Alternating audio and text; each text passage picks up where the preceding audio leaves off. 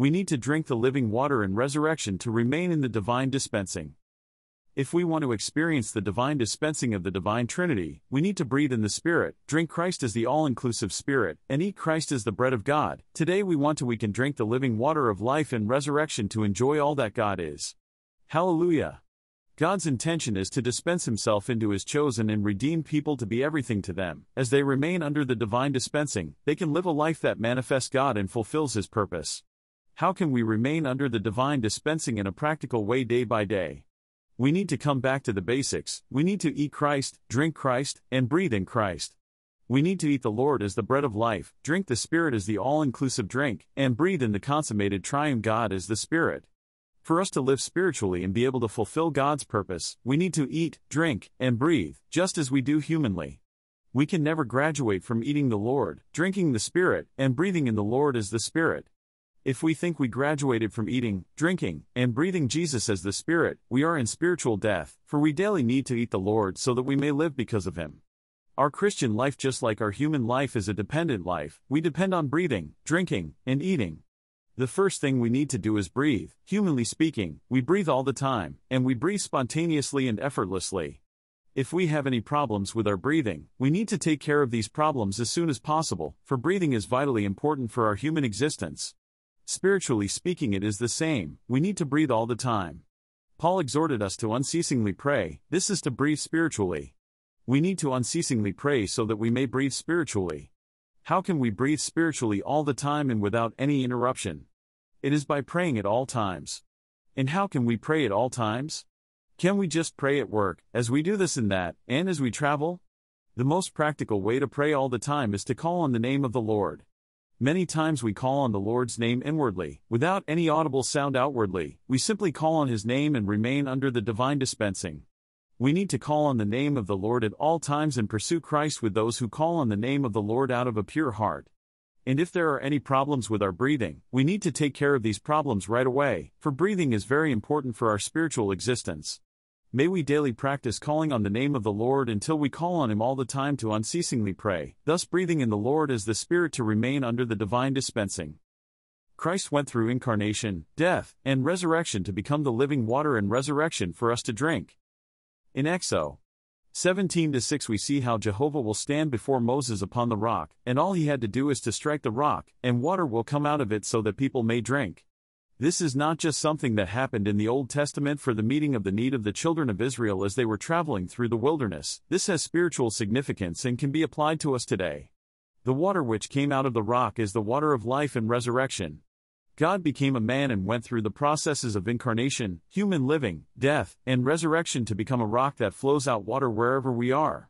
Before his resurrection, the Lord Jesus stood out at the end of a feast and said, Whoever is thirsty, let him come to me and drink. This he said concerning the Spirit, whom he became after his resurrection. John 7:37 39. Before his resurrection, Christ was not yet the Spirit that can enter into man to be man's supply in everything, he was not yet processed and consummated so that he could be enjoyed by man. It is after his resurrection that he became a life-giving spirit, 1 Corinthians 15:45, and today the Lord is the Spirit, 2 Corinthians 3:17, for us to drink. Christ went through incarnation, death, and resurrection to become the living water and resurrection for us to drink. Resurrection denotes something which has been put to death but came out of death full of life and now lives again. Resurrection life is the life that goes through death and comes out of death, after passing through death. It is amazing to realize that God Himself became a rock that was cleft on the cross so that living water may flow out of Him in resurrection, and now we can drink of Him. Wow! The rock is Christ. 1 Corinthians 10:4. God became a rock by being incarnated and living among men, going to the cross, dying, and being resurrected. On the cross, he was smitten by God's judgment on our behalf, and out of his side flowed blood and water. John 19:34. He flowed out blood for our redemption, for the forgiveness of sins, and He flowed out water for regeneration, for us to receive and enjoy the divine life as our life and life supply. The entire Bible shows that God's intention is for Him to be enjoyed by man. For this to happen, He went through a process to become the living water of life and resurrection for us to drink. He went through incarnation, human living, and death, and He entered into resurrection. Now in resurrection, Christ is the living water for all those who are thirsty to drink. Are we thirsty? Yes, we all are thirsty, we all can come to the Lord to drink the living water and resurrection. In our Christian life, we become thirsty many times, at such times we may complain and murmur, or we may just be upset and critical. When we sense that we are thirsty, we can come to the Lord to drink Him as the living water and resurrection. He is following us as a rock that was cleft, and out of him flows the water of life. We can simply ask him to give us a drink, and he will flow into us and even out of us. If we just come to him as we are and ask him to give us to drink, we will drink the living water in resurrection and we will flow out with living water to others also. Thank you, Lord Jesus, for passing through incarnation, crucifixion, and resurrection to become the living water for us to drink. Hallelujah, our God was processed to become the water of life and resurrection for all those who are thirsty to come to Him and drink. We come to you as we are, Lord, for we are thirsty, give us to drink. Flow in us as the living water. Flow into every part of our inner being. Save us from trying to make it. Save us from striving to fulfill God's purpose or carry out His economy. Keep us coming to you to drink the living water. Amen, Lord, we want to enjoy the water of life and resurrection today. Only you can quench our thirst. We come to you to drink. Drinking the living water and resurrection to enjoy all the riches of Christ in the divine dispensing. In the physical realm, we need to drink often, and we need to keep hydrated in order to continue to live. We need to breathe all the time, and then we need to drink many times during the day. In the spiritual realm, it is very similar. We need to breathe in the Lord as the Spirit constantly by calling on His name, and we need to drink often. The water we drink spiritually is not a simple water, it is not like the plain water we drink physically. The living water which Christ became as the Spirit in resurrection has many ingredients, many elements. When we drink the living water in a proper way, we enjoy and experience the inward working and operation of the living water and resurrection in our inner being. Christ as the Spirit is the living water, and in this water, we have the incarnation of Christ, the mingling of God and man, the perfect human living of Christ, the all terminating death of Christ, and the life imparting resurrection of Christ. Everything is in the water of life and resurrection which we can drink by coming to the Lord. This water is invincible, it is the living water and resurrection, and nothing can overcome it because it is resurrection and it is life.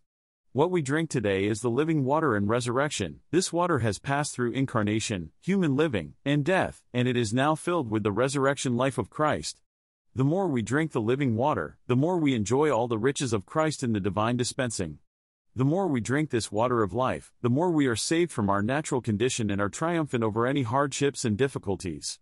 It is by drinking the living water of life that we can be delivered from the world and from every kind of negative thing. As we drink the living water, our self is put to death and the flesh is crucified, for the element of Christ's death is in this water. Revelation 22:1 points out that the life-giving spirit is the water of life flows out of God on the throne. This water of life reaches us and all men to supply everyone in the new heaven and new earth. God is sitting on the throne, and God is life also proceeds out of the throne as the river of water of life. For eternity, God wants to supply us with living water and resurrection. He is flowing eternally, from eternity to eternity, to quench our thirst and supply us with everything we need. The more we drink from the water that comes out of the throne of God, the more we enthrone the Lord and we have the Lord's authority. We submit to the Lord's headship and lordship, and God's authority flows into us and through us. On one hand, we are subdued by the living water flowing within us, on the other hand, this living water flowing from the throne enthrones us and gives us God's authority. Hallelujah! Everything we need is in the living water and resurrection flowing out of the crucified Christ. The effectiveness of the death of Christ, the power of Christ's resurrection, Philippians 3:10, and the enthronement of Christ, all these are included in the living water that we drink. As we drink the water of life and resurrection, we enjoy Christ's resurrection, his ascension, and his enthronement. It's not easy for us to explain how, but when we drink the living water, we taste Christ's resurrection, ascension, and enthronement. All we need to do is come to the Lord and drink, even deeply drink of Him as the living water and resurrection to enjoy all His riches in the divine dispensing.